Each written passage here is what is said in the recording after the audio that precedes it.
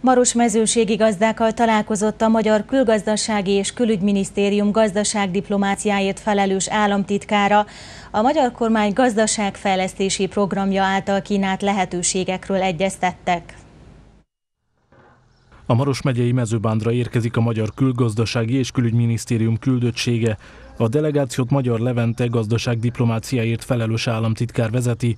A magyar kormány képviselője egy sertésfarm ügyvezetőivel tárgyal az anyaország gazdaságfejlesztési programjáról, amelyet Erdélyben elsőként a Maros mezőségi térségben indítanak.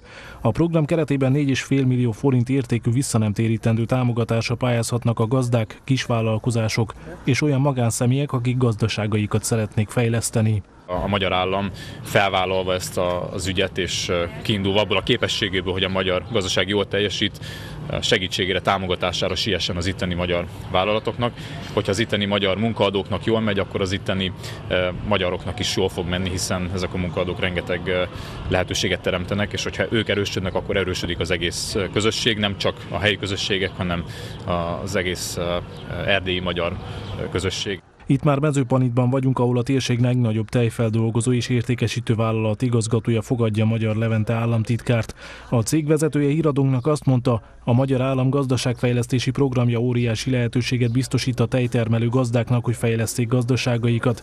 Ebből pedig a vállalat és a helyi közösség is csak nyerhet. Én azt gondolom, hogy a, ami a, a, a segítséget illeti, hát az oda-vissza van, ők azzal segítik ugye a, a tejfeldolgozást forrást, hogy tejet termelnek, mi a gazdákat azzal segítsük, hogy felvásároljuk ezt a megtermelt tejmennyiséget és értékesítsük.